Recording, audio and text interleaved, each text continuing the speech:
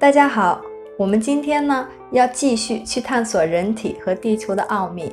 要知道呢，所有的生命形式都在经历一个逐渐调整的过程，这样呢，每种生命形式就可以保持同时的进化和开放，从而呢可以形成意识的匹配和交汇。要知道，所有的一切事物都是活的，很多动物呢现在正在进入圣光的世界。这就是为什么现在有这么多物种灭亡发生的原因。很多动物的存活都与生活质量息息相关。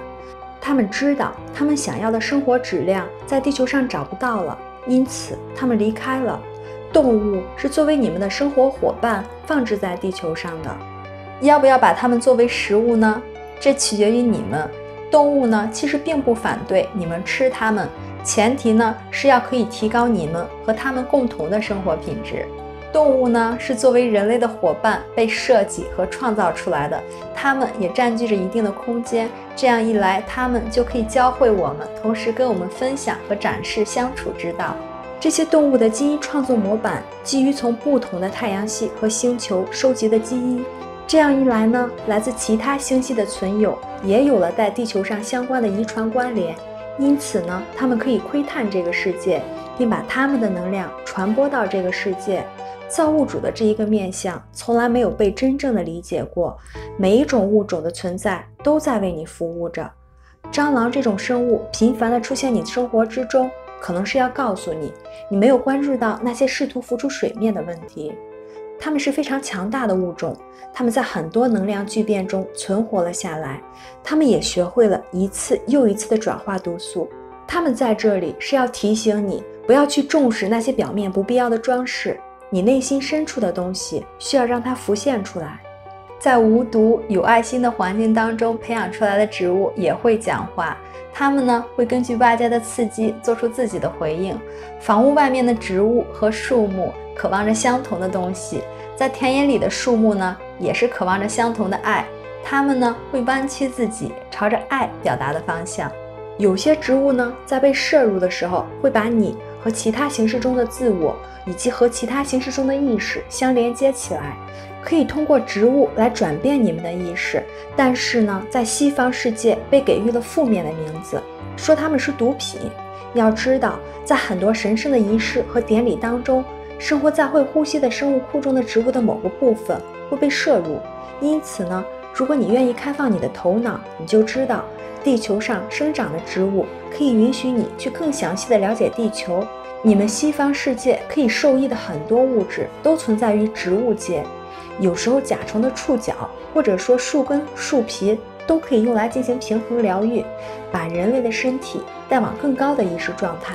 万事万物都有其存在的目的。当人们主动去探索它们的时候，它们就会回馈给我们他们的礼物。爱是一种频率，光也是一种频率，它们都可以以电磁波的能量形式存在。整个地球是一个活着的生命库，可以通过调整人类的基因结构来激活它。之所以如此呢，是因为人类是地球这个生物库的关键所在，而你们的情感呢，会允许你们接通我现在跟你们分享的信息。那些声称他们拥有地球的人，那些声称他们自己是这里神的人，他们正在这里学习爱。而纵观历史的不同时期呢，爱的频率被不同的人所持有不同的时间。美国的土著居民呢，曾经保持着一段较低的频率。观察众多的本土和土著文化，这个地球活着的生命库只能开放到一定的程度。当他们守护的时间结束之后，频率又会被转移到其他的地方。来自卯宿星系的很多实验呢，都在这里进行着。他们的目的呢，是要在地球上关注爱的频率，从而让它闪闪发光。所以，我们在这里做的工作呢，对卯宿星系会产生非常大的影响。卯宿星人想要我们理解的是，这是一场交流，而不是单方面的事情。它是开放性的，出于你纯净的意图对能量的投入。你生活中那些显而易见的变化，会在其他地方产生相对应的影响。卯宿星人在这里分享信息的目的，以及最强烈的意愿，就是在你们的生活之中看到和感受这些影响。要知道。你们的多维度细胞会跨越地球和卯宿星系。卯宿星人把这些信息分享给我们呢，他们的角色就像是中间人，他们为我们打开大门，给我们做介绍，然后为我们指明方向。现在有庞大的智能群体正在等待着，他们说：“我们想要跟人类见面。”我们想要跟他们一起工作，我们也想参与这个项目。但是卯宿星人告诉他们：“等一下，你们不能这样直接的深入他们的生活，因为人类现在很脆弱。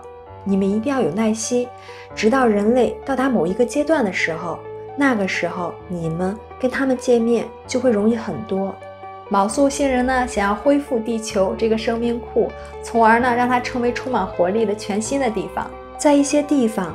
活着的生物库已经被激活，不仅仅那片土地是活着的，更重要的是，人类的意识可以去转化这种活力，跟它一起工作，这才是它成为生物库的主要原因。因为只有通过你们，才能访问地球这座生命库，你们是生物库中不可或缺的存在，没有你们的生物库呢，地球是不完整的。